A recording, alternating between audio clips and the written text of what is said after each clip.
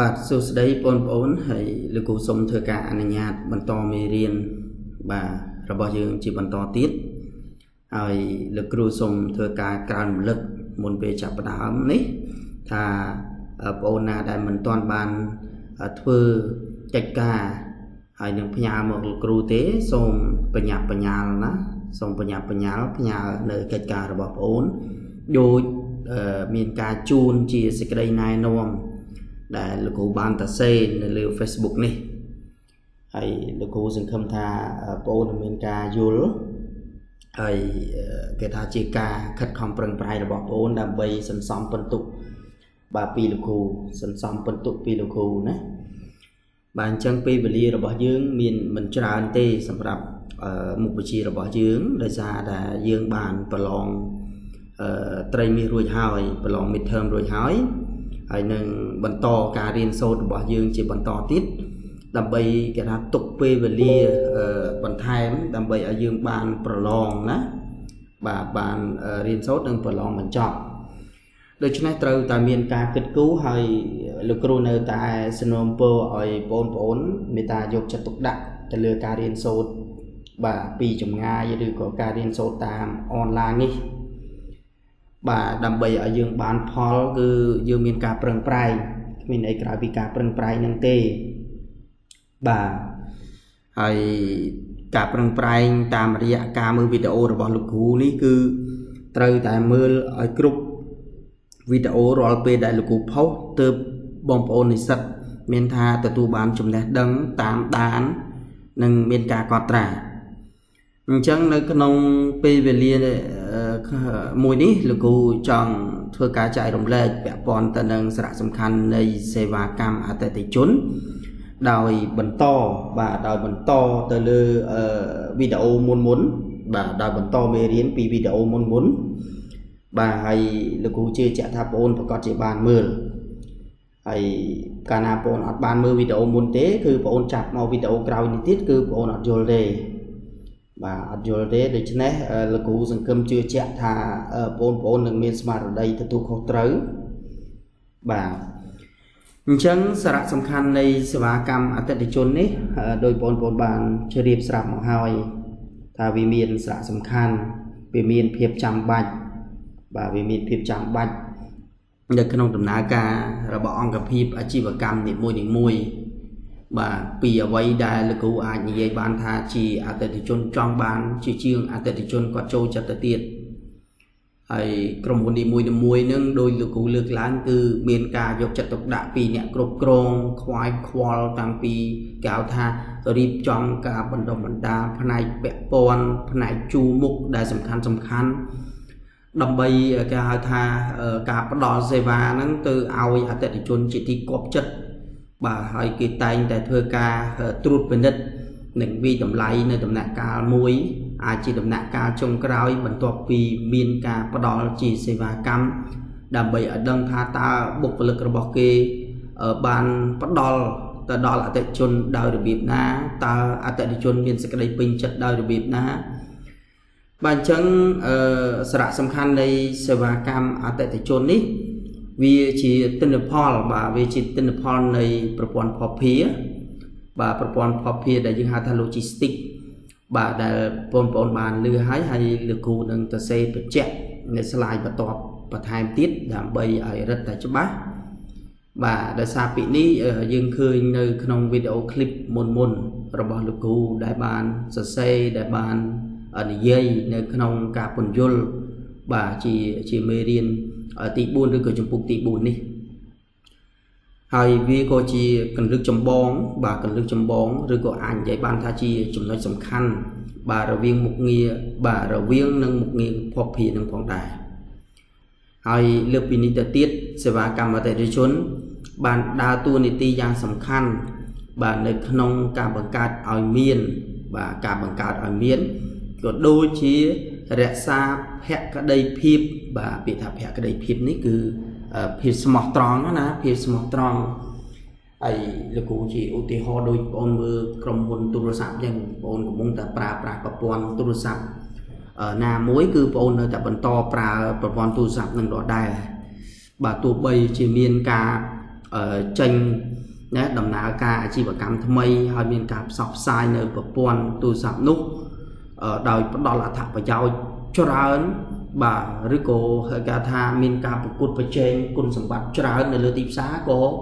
ប្អូននៅតែសម្រេចចិត្តនៅក្នុងការប្រើប្រាស់បាទប្រព័ន្ធទូរស័ព្ទដដែលនោះហើយវាជាភក្តីភាពរបស់បងប្អូនហើយគេតែងតែពោលសរសើរថាឬក៏គេតែងតែនិយាយថាបាទអរគុណសម្រាប់ភក្តីភាពរបស់បងរបស់លោកស្រីបាទរបស់ អាដាមដែលបានគេថាមានភក្តីភាព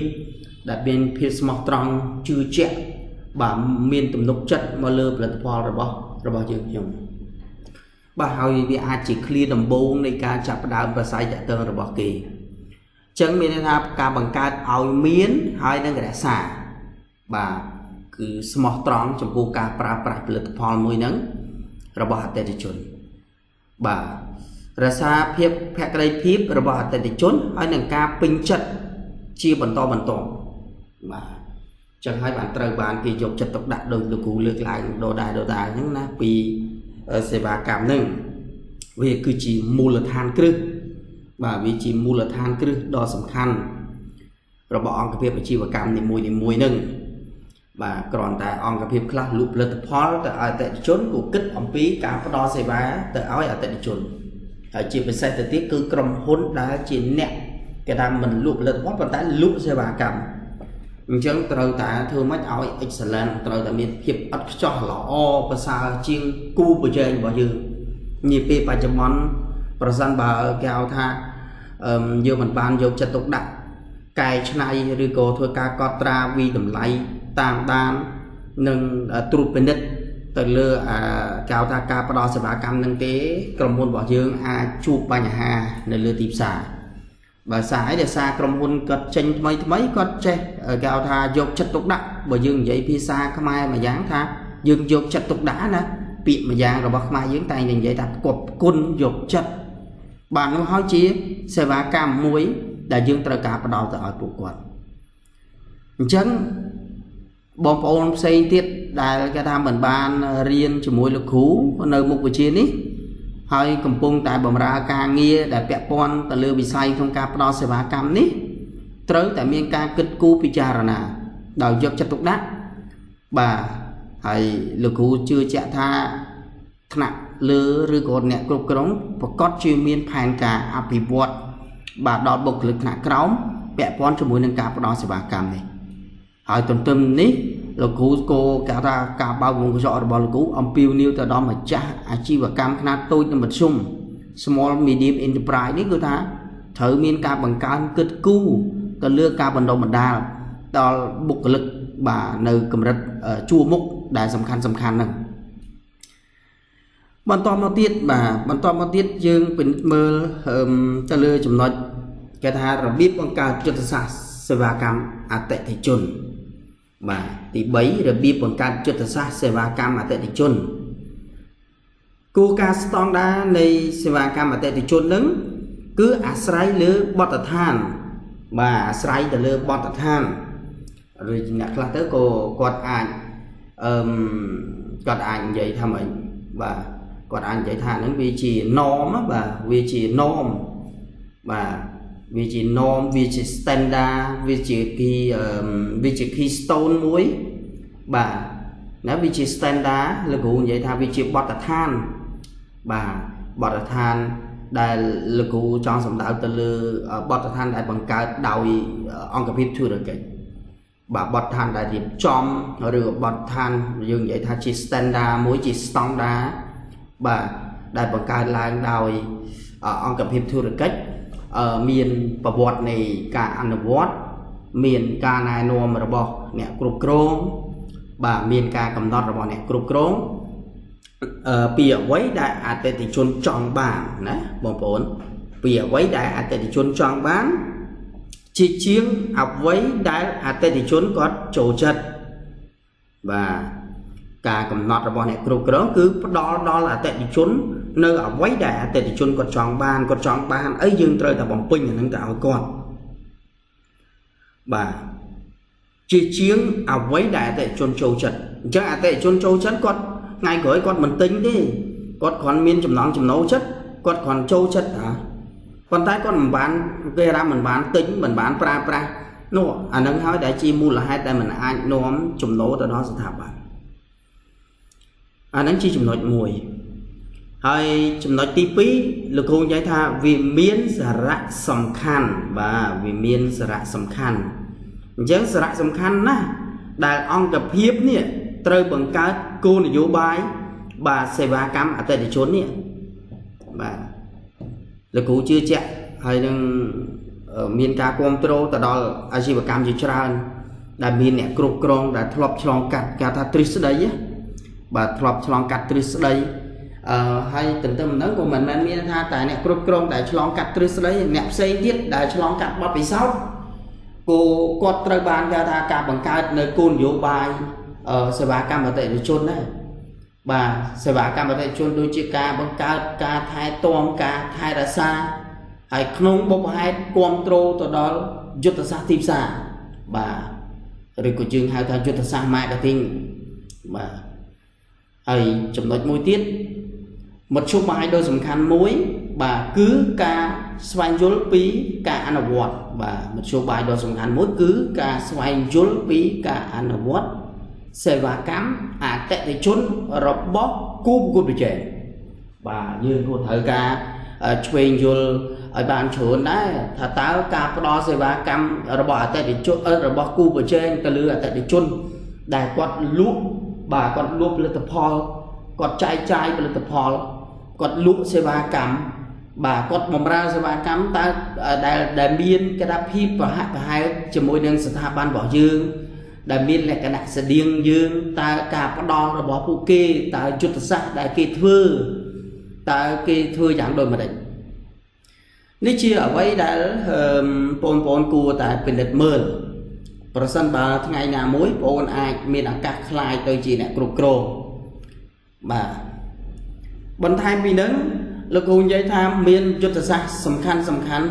2បាទមានយុទ្ធសាស្ត្រសំខាន់សំខាន់2អូសំទោសបាទសំខាន់4បាទបាទមានយុទ្ធសាស្ត្រសំខាន់សំខាន់4គឺកំណត់ពីសេវាកម្មអតិថិជនគេថាដោយផ្អែកទៅលើប្រតិកម្មរបស់អតិថិជនឧទាហរណ៍ដូចជាគេនិយាយថាចំពោះការដាច់ស្តុក នៅក្នុងកម្រិតលក់ដុំអញ្ចឹងមានន័យថាយើងកំណត់ពីសេវាកម្មអតិថិជនដោយពឹងផ្អែកទៅលើប្រតិកម្មរបស់អតិថិជន ចំពោះការដាច់ស្តុកបាទដាច់ស្តុកគឺថាមានន័យថានៅក្នុងស្តុករបស់យើង ដែលយើងផ្ទុកសន្និធិរក្សាទុកសន្និធិទំនិញរបស់យើងគឺអត់មានទេទី2គេឲ្យយើងករណីប្រសិទ្ធភាពនៃចំណូលនិងចំណាយភ័ព្វភាណាគេឲ្យយើងករណីប្រសិទ្ធភាព បាទគេឲ្យយើងករណីពីប្រសិទ្ធភាពនៃចំណូលនិងចំណាយភ័ព្វភាបាទហើយទី3បាទទី3គឺគេនិយាយពីការវិតម្លៃបាទ ABC នៃសេវាកម្មគេប្រើពាក្យថា ABC បងប្អូននឹងបានឃើញនៅ slide បន្តទៀតតែ ABC នឹងពាក្យពេញជាអីគេហើយទី4គឺការធ្វើសាវនកម្ម បាទការធ្វើសាវនកម្មសេវាកម្មអតិថិជនយើងធ្លាប់ឮថាពាក្យថាអូគេចុកធ្វើសាវនកម្មហើយពាក្យថាសាវនកម្មនឹងលោកគ្រូអាចនិយាយបានថាជាសកម្មភាពផ្ទៀងផ្ទាត់នៅនឹងកន្លែងបាទដោយគេចុះមកត្រួតពិនិត្យរបាយការណ៍ហិរញ្ញវត្ថុចំណូលចំណាយរបស់អង្គភាពណាអញ្ចឹងសាវនកម្មគឺជាសកម្មភាពផ្ទៀងផ្ទាត់ ទៅនឹងកន្លែងបាទដូចជាការត្រួតពិនិត្យការពិនិត្យដំណើរការបាទអញ្ចឹងការដូចជាការត្រួតពិនិត្យឬការពិនិត្យដំណើរការឬក៏លោកគ្រូអាចនិយាយបានថាជាប្រព័ន្ធគុណភាពដើម្បីធានានៅការអនុលោមតាមតម្រូវការដោយលោកគ្រូចង់និយាយថាបើសិនជាលោកគ្រូចង់ត្រួតពិនិត្យ បុគ្គលដែលជាអ្នកកាន់ស្តុកហ្នឹងជាអ្នកគ្រប់គ្រងស្តុកហ្នឹងឬក៏គ្រប់គ្រងឃ្លាំងហ្នឹងគ្រប់គ្រងបញ្ជីស្នាមឬក៏ផ្នែកហិរញ្ញវត្ថុហ្នឹងតើគាត់មានភាពស្មោះត្រង់មានតម្លាភាពអព្យាក្រឹតណាបាទសពបែបយ៉ាងហ្នឹងតើគាត់រក្សាបានអានឹងអត់គាត់កើតមាននៅការថាការកេងបន្លំបា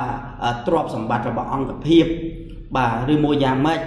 បាទហ្នឹងគោលលោកគ្រូអាចធ្វើសាវនកម្មតែគ្រាន់តែគេហៅថាការធ្វើនោះគឺសាវនកម្មផ្ទៃក្នុងអញ្ចឹងទៅគេហៅថា internal audit អញ្ចឹងទៅអញ្ចឹងដែលឡែកយើងនិយាយពីអតិថិជនក៏យើងត្រូវការគិតអំពីការធ្វើសាវនកម្មសេវាកម្មនឹងដែរបាទអញ្ចឹងក៏យើងធ្វើសាវនកម្មសេវាកម្មអតិថិជនបាទអញ្ចឹងជាមើលអឺ3មួយគេថាប្រតិកម្មអតិថិជន ចំពោះការដាច់ស្តុក3មួយ ប្រតិកម្មអតិថិជនចំពោះការដាច់ស្តុកស្ទើរតែគ្រប់អង្គភាពផលិតកម្មទាំងអស់មិនធ្វើការលក់ផ្ទាល់ទេដល់អ្នកប្រើប្រាស់ចុងក្រោយទេគេថា end user បងប្អូននៅក្នុងថ្នាក់អ្នកដែលមករៀនជាប់លាប់មួយលោកគ្រូប្រកាសជាធ្លាប់ឮលោកគ្រូបញ្យល់ឲ្យពីអ្នកប្រើប្រាស់ចុងក្រោយហ្នឹងគេហៅអីគេបាទអ្នកប្រើប្រាស់ចុងក្រោយហ្នឹងគេហៅថាស្អីគេអញ្ចឹងស្ទើរតែគ្រប់អង្គភាពផលិតកម្មទាំងអស់ មិនធ្វើការលក់ផ្ទាល់ដល់អ្នកប្រើប្រាស់ចុងក្រោយទេមានន័យថាម៉េចគេលក់ទៅឲ្យអ្នកបោះដុំជំនួសវិញបាទគេគេលក់ឲ្យអ្នកបោះដុំជំនួសវិញជាឧទាហរណ៍ដូចបងឯងឃើញស្រាប់ហើយអឺការលក់ទំនិញនៅក្នុងប្រជាជាតិចក្រកម្ពុជាបន្ទាប់ពីក្រុមហ៊ុនគាត់បានផលិតហើយណាគាត់បានធ្វើហើយចេញពីរោងចក្រហ្នឹងគឺមានអ្នកអ្នកបោះដុំហ្នឹងមកចាំទទួលអញ្ចឹងទៅ បាទដោយលោកគ្រូអឺធ្វើអីបាទបាទដោយលោកគ្រូធ្វើនឹងបោះពុំខាងផ្នែក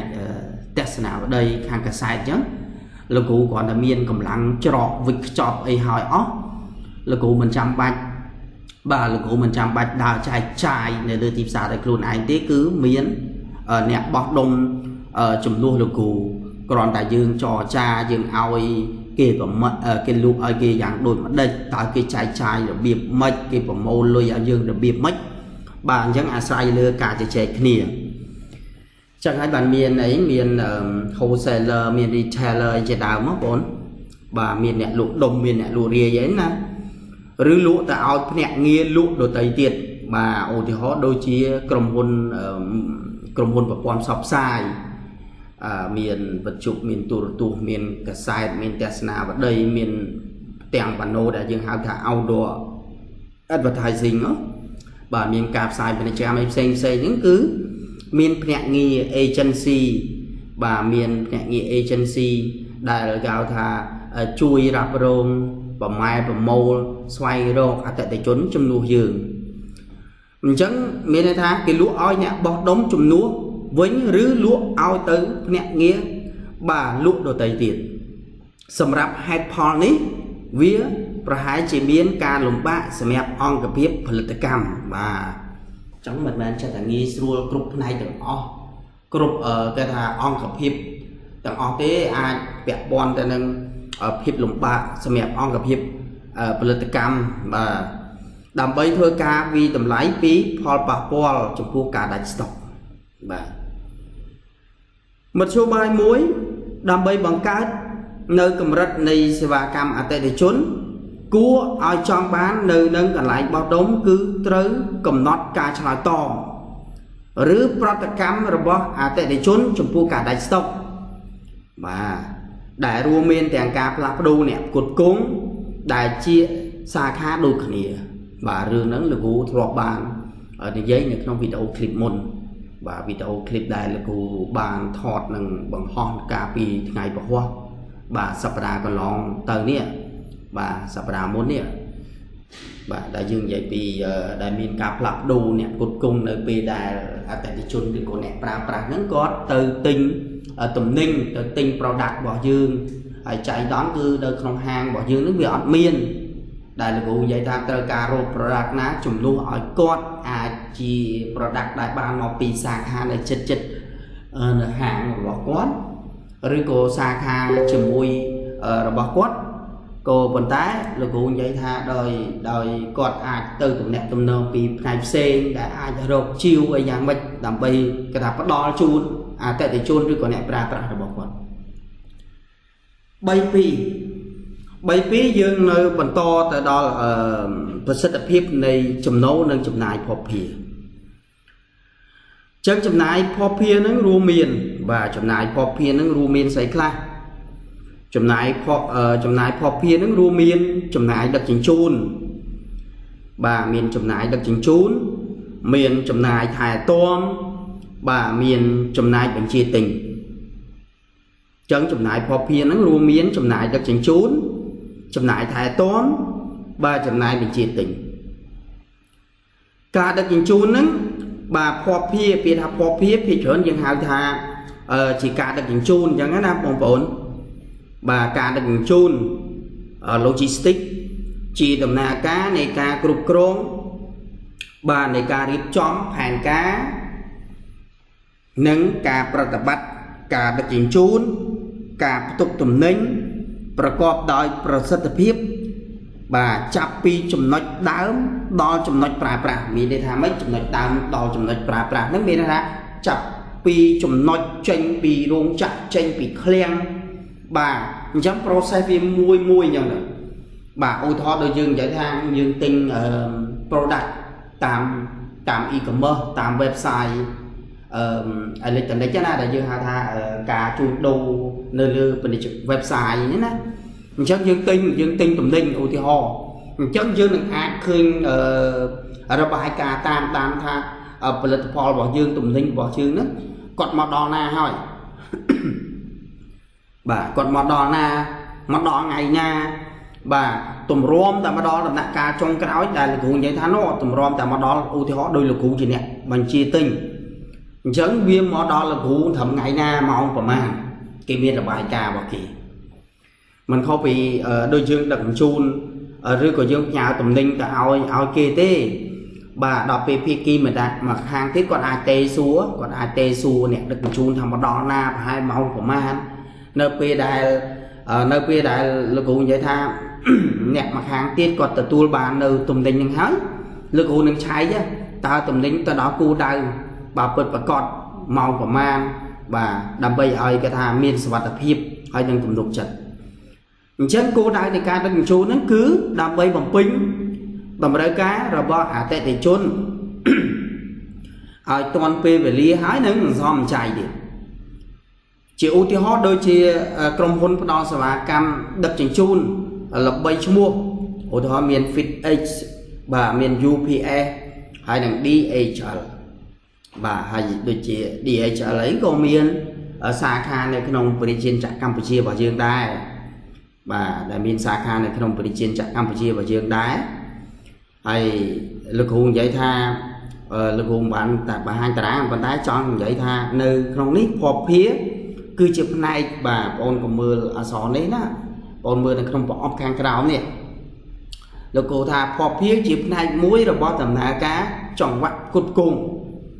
បាទអញ្ចឹងដូចតែនៅខាងលើដែរទេគ្រាន់ខាងលើវាអាច detail ជាងអញ្ចឹងណា ដល់នៅខាងក្រោមនេះលោកគ្រូនិយាយជាចំណុចចំណុចថា ការធ្វើផែនការការអនុវត្តការត្រួតពិនិត្យបាទប្រសិទ្ធភាពប្រសិទ្ធភាព ការស្តុកទុកបាទការធ្វើសេវាកម្មការផ្ដល់ព័ត៌មានឃើញទេបាទការផ្ដល់ព័ត៌មានបាទនេះជាការចំណាយរបស់ភពភាបាទផ្នែកខាងលើដែលលោកគ្រូអឺដាក់ pointer ជាជា highlight នេះបងប្អូនមើលណាបាទ4នេះជាអីបងប្អូនបាទ4នេះវាគឺជា marketing mix ណា marketing mix បាទជា marketing ចម្រុះហើយបើយើងនិយាយពី logistics ការដឹកជញ្ជូននេះបាទឬក៏ដឹកជញ្ជូននេះយើងមានអីបាទយើងយើងគិតថាត្រូវមានអីមានថ្លៃដើមដឹកទំនិញ បាទថ្លៃដើមដឹកជញ្ជូនបាទមានអីចំណាយបរិមាណច្រើន មានថ្លៃដើមឃ្លាំងមានបញ្ជាថ្លៃដើមដំណើរការហើយនឹងពណ៌ព័ត៌មានអញ្ចឹងហើយបានបងប្អូនឃើញទិញផលិតផលពេលដែលយើងទិញផលិតផលគេដាក់លក់តែ7ដុល្លារទេប៉ុន្តែនៅពេលដែលយើងបញ្ជាទិញចិត្តដល់ដំណាក់កាលចុងក្រោយ វា check out វាប្រាប់យើងថាម៉េចវាប្រាប់យើងថាថ្លៃដឹកជញ្ជូន shipping shipping cost ហ្នឹងតម្លៃប្រមាណអញ្ចឹងទៅឧទាហរណ៍ដូចលោកគ្រូទិញផលិតផលមួយពីចិនមកប៉ុន្តែអត់តដឹកមកហើយបាទលោកគ្រូនិយាយថាតម្លៃវាមិនថ្លៃទេប៉ុន្តែបូកបន្ថែមទៅនឹងថ្លៃដឹកជញ្ជូនបាទវាអាចលើសពីការទិញគេថាឧបករណ៍ឬផលិតផលដែលមានលក់នៅក្នុងស្រុកណា គឺលើសបាទឧទាហរណ៍នេះឧទាហរណ៍ថានៅក្នុងស្រុកពេលលក់17ដុល្លារយើងទិញពីខាងក្រៅយើងត្រូវ waiting បាទយើងត្រូវរងចាំហើយបូកនឹងថ្លៃដើមបាទថ្លៃដើមមិនមែនថាយើងទិញក្នុងស្រុកអត់មានថ្លៃដើមទេយើងមានដូចតែគ្នាទេគ្រាន់តែវាអាចតិចតួចអញ្ចឹងណាបាទដូចយើងចំណាយទូរស័ព្ទចំណាយពេលវេលាចំណាយថ្លៃដើមដោយសារតែយើងជិះម៉ូតូចាក់ចាក់សាំងចាក់អីចឹងទៅទិញអញ្ចឹងទៅបាទ ដោយឡែកអឺ3 3លោកគ្រូនិយាយថាពីការវិភាគតាម ABC បាទការវិភាគតាម ABC ដែលយើងហៅថាការវិភាគចំណាយតាមសកម្មភាពបាទការវិភាគចំណាយតាមសកម្មភាពនេះគឺវិភាគតាម ABC ដែលយើងហៅថា active based បាទ costing analysis បាទការវិភាគចំណាយតាមសកម្មភាពនឹងបាទវាស់វែងការចំណាយតាមសកម្មភាព បាទវាត្រូវបានគេប្រើប្រាស់ដើម្បីកំណត់ពីប្រភេទទំនិញសកម្មភាព ដែលមានសារៈសំខាន់បាទដែលមានសារៈសំខាន់ហើយភាពពិតប្រាកដនៃការវិនិយោគអសំទោសការវិភាគបាទភាពពិតប្រាកដនៃការវិភាគការចំណាយតាមសកម្មភាពសំដៅលើអតិថិជនខ្លះនិងផលិតផលខ្លះ ដែលមានផលប្រយោជន៍យ៉ាងច្រើនបាទដែលមានផលប្រយោជន៍យ៉ាងច្រើននិងសំខាន់ជាងក្រុមហ៊ុនបាទផលប្រយោជន៍គឺសំដៅទៅលើប្រាក់ចំណេញចំណូលពីការលក់បាទហ្នឹងជាការវិភាគចំណាយតាមសកម្មភាពណាបងប្អូនបាទអញ្ចឹងផលប្រយោជន៍ហ្នឹងគឺសំដៅទៅលើប្រាក់ចំណេញចំណូលពីការលក់បាទ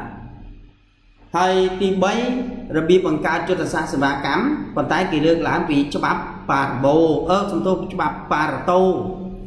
បាទច្បាប់ប៉ារ៉ាតូហ្នឹងគឺសម្គាល់ថាមានស្ថានភាពច្រើន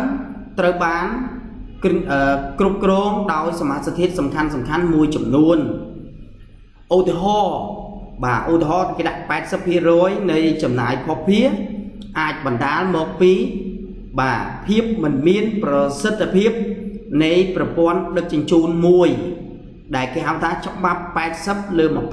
20បាទ80%នៃចំណាយភពភា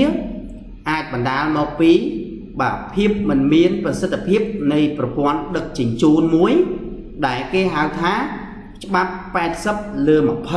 20គេអាចបកស្រាយដោយខាងក្រោមនេះថា1 ផលិតផលក្នុងប្រភេទ A ផ្ដល់ផលចំណេញច្រើនជាងគេ និងមានផលិតផល B C D តាមលំដាប់លំដោយផលិតផល A គឺមានចំនួនតិចទួចជាងគេនៅក្នុងផលិតផលសរុបផលិតផលប្រភេទ D ផ្ដល់ផលចំណេញតិចទួចជាងគេ តែមានចំនួនច្រើនជាងគេ អញ្ចឹងប្រហែល80%នៃផលិតផលសរុបបាទគ្រាន់ជាការបកស្រាយមួយណាឧទាហរណ៍ដូចលោកគ្រូបកស្រាយកន្លែងចំណុចទី2ហ្នឹងគេដាក់ថាអតិថិជនប្រភេទទី1ផ្ដល់ផលចំណេញច្រើនជាងគេ តែមានចំនួនតិចប្រហែល5ទៅ10%ប៉ុណ្ណោះអតិថិជនប្រភេទបាទទី4ឧទាហរណ៍ណាលោកគ្រូដាក់ថាអតិថិជនប្រភេទទី4 ជាប្រភេទអតិថិជន ដែលផ្ដល់ផលចំណេញតិចជាងគេតែមានចំនួនច្រើនបាទបន្សំអតិថិជននិងផលិតផល ដែលផ្ដល់ចំណូលច្រើនជាងគេ គឺអតិថិជនប្រភេទទី1និងផលិតផល A បន្សំបន្ទាប់ដែលផ្ដល់នៅចំណូលច្រើន គឺផលិតផល B និងអតិថិជនទី1 បន្ទាប់មកទៀតគឺអតិថិជនទី2និងផលិតផល A បន្ទាប់ទៀតអញ្ចឹងនៅពេលដែលលោកគ្រូផុសលោកគ្រូនឹងដាក់រូប2ណាលោកគ្រូចង់បញ្ជាក់ថានៅពេលដែលលោកគ្រូផុសលោកគ្រូនឹងដាក់រូប2បាទនៅថ្ងៃស្អែកដែលម៉ោងរបស់យើងគេថាដំណើរការចាប់ផ្ដើមបង្រៀននឹងរៀននេះអូខេយើងមើលសាវនកម្មសេវាកម្មអតិថិជន បាទសាវនកម្មអតិថិជន ត្រូវបានគេប្រើប្រាស់ ជាមធ្យោបាយដើម្បីវាស់វែងបាទដើម្បីវាស់វែងតម្លៃសេវាកម្មរបស់ក្រុមហ៊ុនមួយហើយគោលបំណងពីគោលបំណងនៃសាវនកម្មនឹងគឺមួយកំណត់ពីសមាសធាតុចាំបាច់នៃសេវាកម្មអតិថិជន បាទអញ្ចឹងគេនិយាយពីអឺសាវនកម្មសេវាកម្មអតិថិជនយើងធ្លាប់លើគេធ្វើសាវនកម្មរបាយការណ៍ហិរញ្ញវត្ថុ ឥឡូវយើងមកលើពាក្យថាសាវនកម្មអតិថិជនហ្នឹងថាគេប្រើដើម្បីជាមធ្យោបាយមួយអឺស្ថិតនៅក្នុងគោលបំណងកំណត់ពីសមាសធាតុចាំបាច់នៃសេវាកម្មអតិថិជនហើយទី2គឺនីតិវិធីនៃការត្រួតពិនិត្យរបៀបនៃការត្រួតពិនិត្យបានដំណើរការនៃការត្រួតពិនិត្យទៅលើការអនុវត្តរបស់សមាសធាតុទាំងនោះហើយទី3ពិនិត្យនិងវាយតម្លៃពីគុណភាពនិងសមត្ថភាព របស់ប្រព័ន្ធតម្លៃបាទប្រព័ន្ធវិតម្លៃខាងក្នុងបាទអញ្ចឹងនៅក្នុងវីដេអូឃ្លីបសម្រាប់ session នេះលោកគ្រូសូម slash ប៉ុណ្ណឹងសិនណាបាទ slash ប៉ុណ្ណឹងសិនហើយយើងចាំជួបគ្នានៅវីដេអូ session បន្តទៀតបាទបើសិនជាបងមានចម្ងល់មានសំណួរបងអាចទម្លាក់ comment របស់បងបានឬក៏បងឆាតចូលក្នុង Telegram របស់លោកគ្រូជា personal ជាបុគ្គលមក បាទសាជាថ្មីអរគុណចំពោះការយកចិត្តទុកដាក់របស់បងអូនណាចំពោះការយកចិត្តទុកដាក់របស់បងអូនហើយយើងនឹងជួបគ្នា បាននៅ session ក្រោយបាទសូមអរគុណ